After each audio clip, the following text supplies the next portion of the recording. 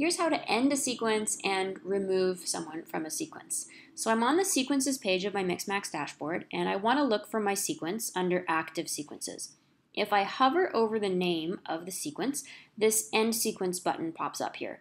If I click it, none of the recipients on this sequence will receive any more emails. So that will just end the sequence and the sequence will move into the inactive sequences area.